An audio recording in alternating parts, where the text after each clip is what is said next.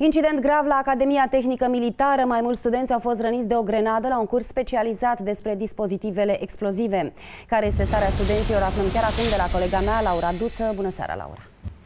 Bună seara! Cinci studenți militari care învață la Academia Militară Tehnică din capitală au fost răniți. Unul dintre acestea este în stare mult mai gravă, susțin reprezentanții Ministerului Apărării și a fost transportat de urgență la Spitalul uh, de Chirurgie Plastică Carol Davila. Starea sa este stabilă. Reprezentanții Ministerului Apărării susțin că totul s-a întâmplat la un curs în care învățau despre dispozitive explozive unei grenade um,